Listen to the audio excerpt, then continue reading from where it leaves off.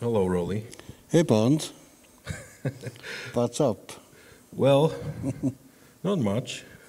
I mean, it's quite a big deal that we're here. We're here in Łódź at Sound Edit Producers Festival, which apparently we're like the only people here. I mean, there's a camera crew and uh, yeah, but these are the times, huh?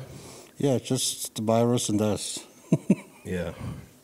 So we came here because uh, I think it's about time that you uh, that you get uh, recognized also for the wider audience because not so many people actually from the mainstream knows your work, and I think that they should definitely uh, have a look at it. You know. So we're here celebrating uh, the Man with a Golden Ear recognition by Sound Edit Festival. Uh, and I'd like you, like, you know, I don't want to ask you stupid questions because No, I, I know don't. I know you don't like them, and you're probably gonna hate all the questions I'm gonna ask you. Uh, so maybe you have an answer without a question, you know? No, just just uh, ask. Let me see Okay, okay. So I have to kill you or not.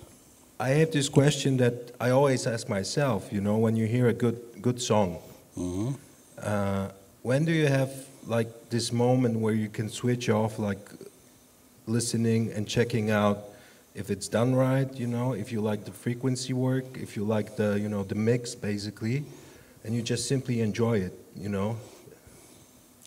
Well, it's uh, I, I don't separate all these things that much. You know, I I I, uh, I basically work on it till I till I don't know what to do anymore. You know, no, there's nothing to not, nothing to be done anymore. Then I let, I let it rest. and Maybe listen a couple of days later.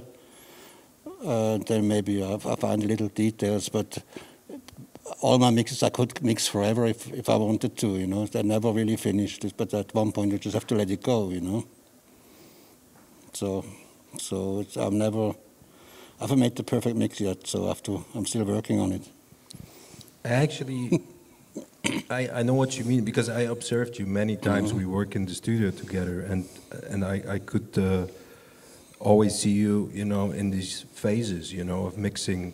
But I was more asking, like, when you just listen to a song. I'm not talking about the the stuff you produce, but you you just, you know, you have something uh, that you enjoy. You know, do you kind of put it in pieces? You you, you no, analyze no, it? no, or? no, no. I mean, I, I listen, I listen just, uh, you know, I listen to the song, and uh, if the song touches me somehow, I follow it. You know, and there's different, uh, there are different uh, ways of consuming music nowadays. You know, so when it's all over the place, so 99% I, I cannot stand, but. Uh, but uh, if I, I'm not dissecting it work-wise and like, oh, how production they're using, oh, they're using, they're doing this, doing this, and I don't uh, because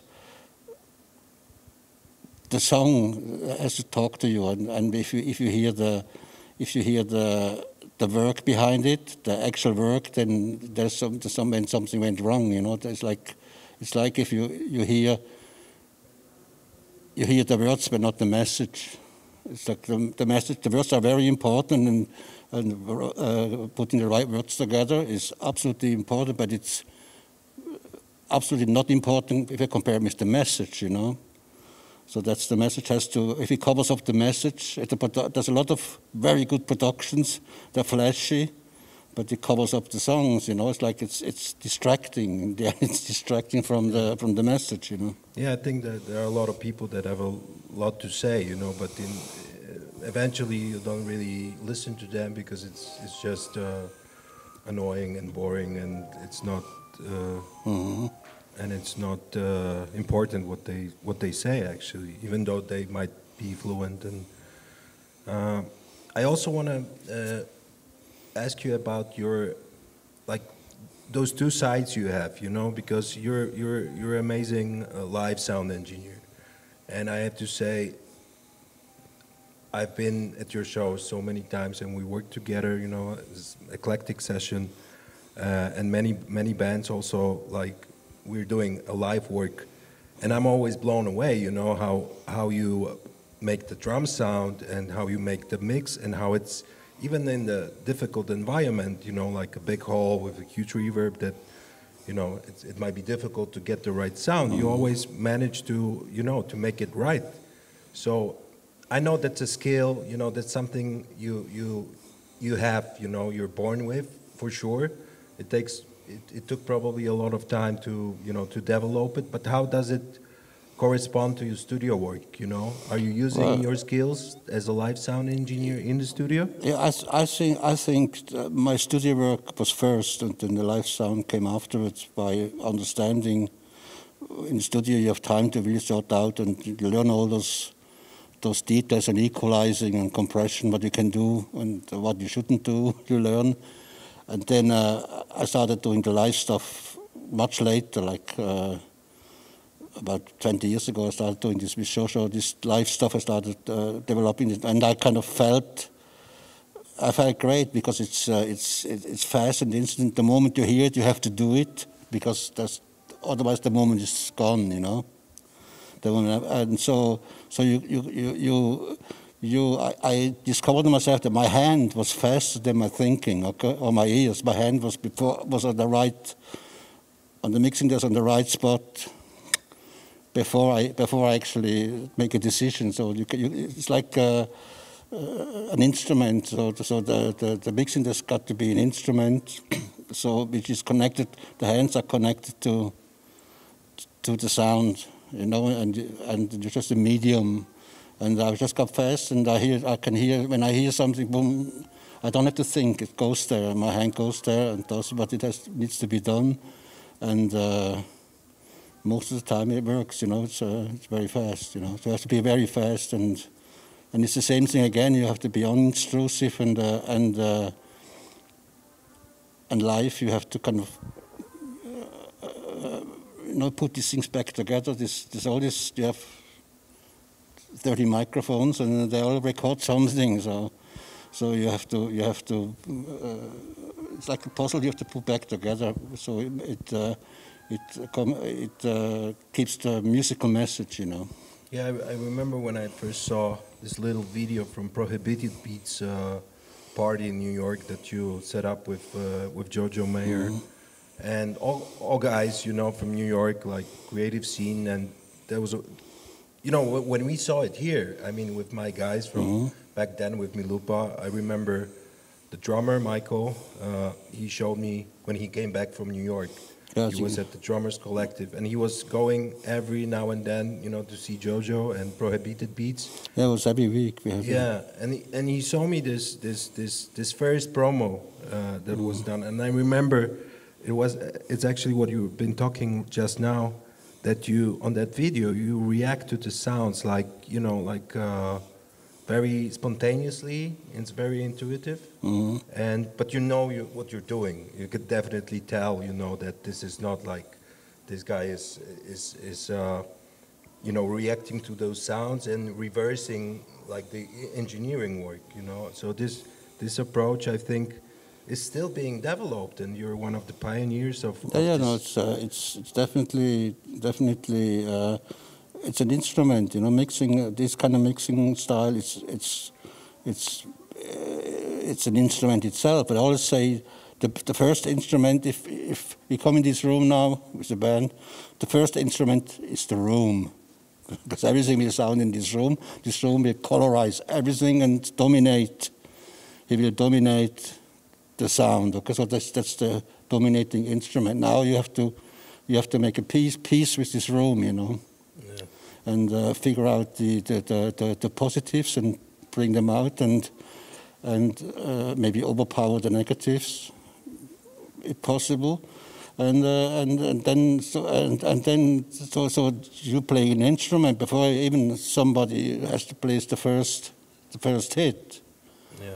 So, so uh, and it has to do with you know, where you place the PA, how you EQ the PA, uh, uh, where you set up the band, how loud they play the monitors. You know, uh, there's so many factors, and you can never control all these factors. So it's like always a, it's always a compromise, and uh, my experience is when the sound check is really fucking bad, then we have a good show, you know. So You know, my rule is that whenever we do a sound check and the sound check is fucked, you know, then we have a good show. yeah, yeah, no, this. Uh, And I'm always like really, I feel really, uh, I don't really feel safe whenever sound check goes good, you know. Yeah, yeah, That's a sign of a bad show. Yeah, no, that's why I mean, when everything's good. that's why I stop sound immediately when everything sounds. We don't have to waste uh, the good energy, you know. Yeah. Yeah, it is also all about the expectations, Yeah, I guess. yeah. But I also want to like go back a little bit to your like early days, you know, because you like you were born in in in Switzerland, Yeah, near Zurich, and and but you most of your uh, life you actually spent in New York, which was, I mean, in the Mm-hmm. Yeah, about 30 70s, 30 80s. How was it? How was the scene there? Well, it's, it's, it's look at the planet now. If you look at the planet, I guess anywhere, 1978 and uh, and 1970 in Poland, what, what went down here? I mean, it's a complete different planet, you know. And uh, and the same thing in New York, you know. It's like it's like uh, it's like I guess people always try to arrange with the system they live in and, and then relatively EQ it so it works, you know. So, so, so, and that's, where you only realize the differences if you travel, you know. Yeah. So, and, and now, I mean, it's like uh, somebody which is born now and, uh, or born, let's say, 20 years ago and he goes to New York, eh, has a complete different experience than I had when I uh, went to New York in 1978, you know because there was, I mean, it was culturally, it was, uh, rent was cheap. I had a loft, a 3,000 square feet loft for $250, you know, in Tribeca, which is now, the, now uh, I think they just sold, somebody sold this loft for, uh, I don't know, $4 million or something, which is completely ridiculous. I mean, it's, it's uh, you see the, Because you also, you, I remember when you were telling me you were working with the Young Gods, because you produced most of their albums, I think if not all. Uh, so I remember you telling me when you uh, you were working on the like getting the you know crazy sounds, and you would go to the tube, you know, record the. Uh, Yeah, yeah. It's it's uh, uh, that actually that in one of the on on on uh, only heaven. There's a, there's this really whistling high sound, which actually alle when with a Walkman uh, in in the subway recorded the subway. The, the trains like going around the corner, screeching and squealing, and he slowed it down like four octaves, you know. And that was the composition, you know. so obviously you worked a lot of with tapes, you know, and you Uh, actually became. yeah, the first the first record of Young Gods was uh, was the, this Electro-Harmonix sample you have with the sample, it's, uh, with four seconds, like eight bit cheap sample, and we had the sounds on cassette. So every time song with a new sound, you had to play it from the cassette and resample it. That was the setup, you know. So it's the it's. Uh, it was completely analog. Uh, the, all the sounds of the first record are, are kind of come from analog over a cassette tape, you know. And then I used the studio to beef it up and uh, make it sound make it sound different. But uh, it's also the same thing when you say the times, the times. Now, if if you get into music now and you want a sample, you, you buy a sample. And sample has hours of sampling time, you know, and the highest quality you want, okay, or, or the lowest you want, but there's no limitations, okay? we had like, uh, we had, after the, the electros, we had this Akais, the S900s. This one had, had two seconds. You could sample two seconds. And uh, this was the maximum you could sample. So, so the, the longest, uh, the longest uh, sound was two seconds, okay? So we, what we did, uh, what we did, I, I mean, they came up with the title "Minimal Bootleg Architecture," you know, uh, because of the because of the short, and that was limitation which actually made Young Gods work, you know. Yeah. I don't think you would come up with the same thing. Maybe you could sample long or so. I think you know these days, I, actually limitations. Also for me, you know, I'm I'm I'm looking at it, you know, because I like, like you mentioned, this Electro-Harmonix sampler, which you know when you think about the sampler, most of the guys that would use a sampler, they would say like, oh, this is useless, you know, because you cannot really uh, align it in any way, you know. But for me, this unpredictableness of this thing is is absolutely absolutely the biggest uh, benefit, you know. And I, I just I simply love it because I never know what's gonna what's gonna what's Yeah, gonna come out. uh, You know, um, of course. uh, You know, you, you manage to, to learn some, some devices, but still there's this thing that you can get surprised with. Then uh, I remember I, when we had in the studio when I did productions in the 80s, I always had a, a DAT, a digital audio tape, a cassette uh, format, which was very high quality digital, first digital, affordable digital format. And I had always the assistant at all times. I want to, what's going on in studio, I want to be on record at all times.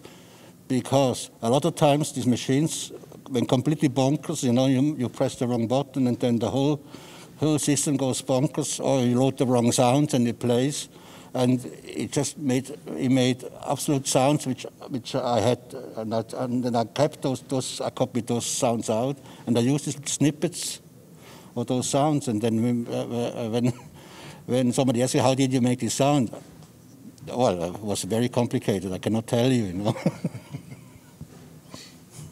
Yeah, I mean, there's so much, uh, so much sound still to discover, I guess. Huh? I mean, it never ends, and this is Well, it's, the thing is, this is like it's you play music. You don't work music. You know, you play. You play. The thing is, I'm playing. You know, so you you play with it. It's like, like children play. They don't work. You know, The- you play an instrument. You don't work an instrument. I mean, but you have to work very hard so you can play good. yeah. And how how because you're like maybe some people know that you're also amazing uh, percussionist actually and a drummer. You know, you, you, you used to be uh, like the in the early days of of uh, the Swans. yeah. You've been a member of the band, and uh, but you've been also playing. Just recently, we we had great jams, and we developed this eclectic room concept where we invite musicians for improvisations, and it's it's very broad s- style-wise. There are no boundaries, and you also, of course, you mix the sessions, and we we release it online.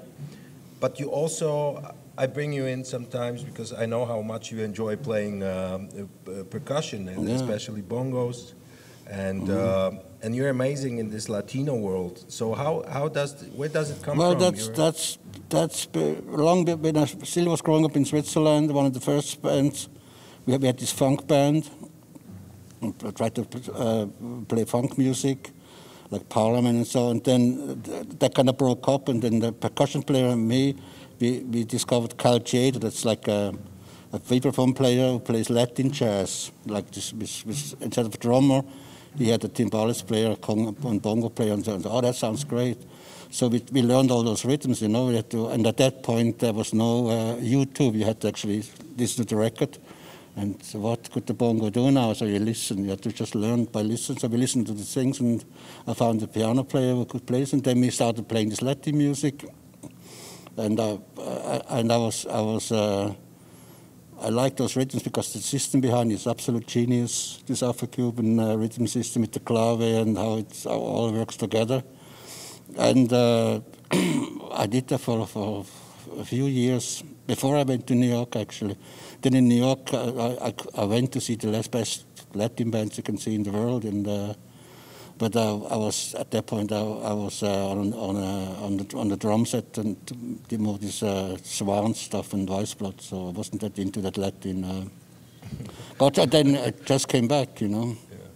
So it's always it's like I have a lot of. Uh, I also I, I studied on the drums. I studied a lot of jazz, uh, and it's just like a vault. You have a you have a vault stored with information, and then at the right moment you can pull it out. And oh, isn't that? Uh, isn't that you know, that reminds you of that record, you know? And then you can kind of oh, then you have, you have you can develop some new ideas how you can treat modern things now, you know because uh, because uh, there's nothing new under the sun. It's just new combination. You put it together differently, but its source is the same. You know. Yeah, I don't want to ask you questions like how was how was it working with this guy or the other guy because we know that these questions are just so fucking stupid. You know that uh, there's a question there. I think. Uh, oh, it was great. It was, uh, it was always great. it was always great working with everyone. Yeah, it was absolute fabulous. fabulous. But I want to I want I want to ask this question in a different way, you know, because uh, mm. For me you were always amazing because you know it, it, it didn't mean like if the guy was you know famous or he had it was always about the music you know if, yeah, if the music was right you could hear like there, there's something special about it and it touches you it could be a, like a hillbilly band, you know, from around the corner from from Pobiedna or mm. whatever. And we actually did did some of that as well. I mean, all kinds of projects. so I want to ask you how how how it, about this approach. You know, when of course you have like big clients, like you used to have working with uh, Faith No More or uh, you know Mike Patton, but you all how you approach, you know, a band that, that wants to work with you. I mean, they approach you, obviously, but yeah, how but you, it's, how it's you, like, how you I mean, there, that? I mean, I listen to I listen to the material if possible, if they have something, and uh, or or entice them to make material, so I can listen to, and uh, and there's thousands of different ways if you, to get it together or not. But obviously, we need some sort of budget to come and use the studio and uh, and uh, and some technology and uh, figure out the path. If I hear something, you know, if I hear what it could be done, and uh, and then I, I, try to find out what the band wants. You know, what do what do they want? You know, how do they? Because it's uh, uh for me, it's also important that uh, that uh, that I don't come in and just like, okay, I know how to make a drum sound. I can make I can make I can record drums and then afterwards by mixing I can I can make them make them sound like 60s, like 80s, like 90s. It's all it's it's it, that's easy, you know. So it's so it's easy. I can make a, an impressive an impressive result, so that, which sounds competent, but that might not be good for the band, you know. So so I have to always kind of see see. It might be more important to to actually be less be, be less professional in the old, in the classic sense to be more uh, adventurous try out different things you know so and then uh, and then in the end the mix with the with the budget and the possibilities and so yeah, all, all it ends up somehow in the right in the right dimensions so so you get the right result you know? And then after it's, if it works you look like a genius and uh, if it doesn't work uh, nobody hears it so. And what do you think, like, what's going to happen in, in, I don't know, maybe that's also a stupid question, but I, I sometimes wonder myself, you know, what's going to happen in, like, I don't know, 20, 30, 50 years, you know, if, if we are still going to be, like, doing this stuff and this whole music business will be kind of, you know, in motion. What do you think, what, what it's going to be like? Because that, uh, you know, this analog culture, I mean, of course, there is a boost in in many areas, you know, and people get like into that stuff.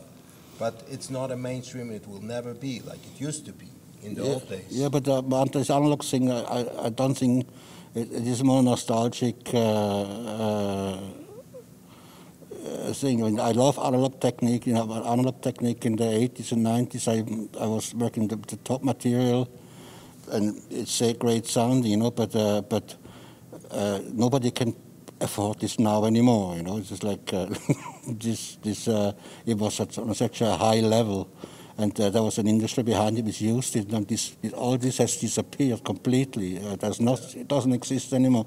So. You can find a few studios which have uh, have all this equipment still and and try to work it, but uh, but I mean, I'm I'm even thinking more about like keeping in mind that you know we have all this automatization coming along, you know, in all fields, you know. So even if if uh, there can be great music, you know, produced yeah, yeah, yeah. digital digital uh, environments, obviously, but what if there if there my question is what do you think like in 50 years is there if is there gonna be good music around yes I, am sure there will be good, music around and in what in what kind of um, format it will present itself, I don't know, but uh, but I assume it has to do with something with Silvis playing live, you know, and and that's my assumption. Could be completely wrong. Another thing, in 50 years, a lot of the industrial music will be done by artificial intelligence. So they, these machines will compose the commercials for the for Coca-Cola, and they're going to sound as good as the, whatever they have now, you know, and will have to function. So I think they will all be done by uh, by algorithms, and uh,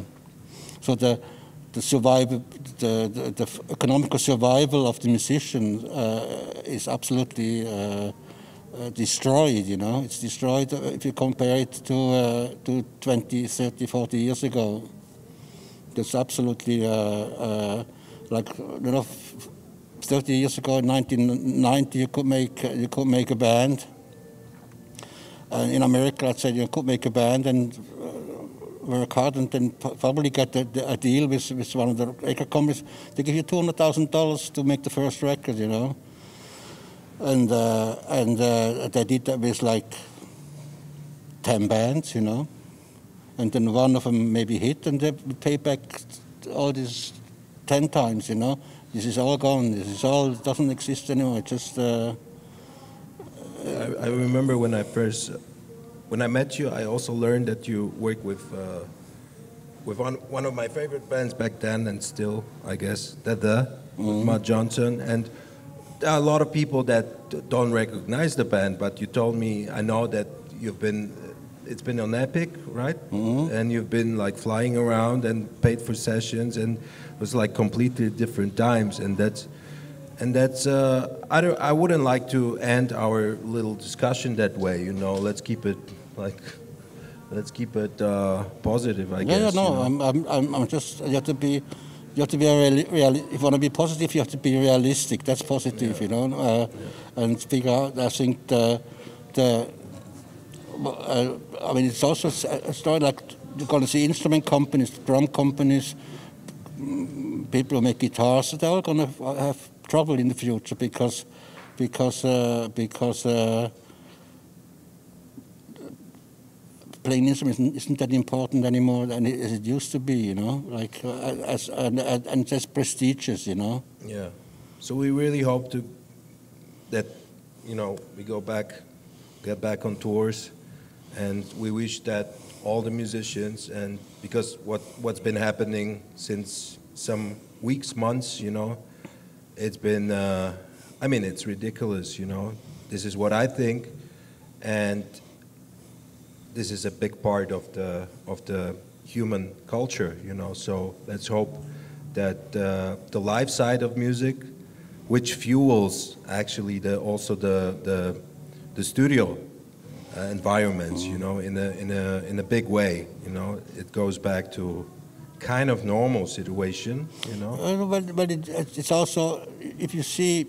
The, like in the 50s, you, you went to the studio to record what you played live, and then with the Beatles, the studio came in, came an instrument. You go into the studio to make your music, and then to try to figure out how to how to play it afterwards live. You know, you had to hire more musicians, do this, and that was the 80s. Everybody made the fucking records in Fantasyland and great records, you know, and then uh, to play live three people uh, had problems, so you had to make compromises there. Now it's back again. it's like it's like it's just like goes always full circle, you know. It's like the like the like, like uh, now you have a lot of kids that just play live and record it, you know, and they do the record in in a concert and so. On. Anyway, yeah.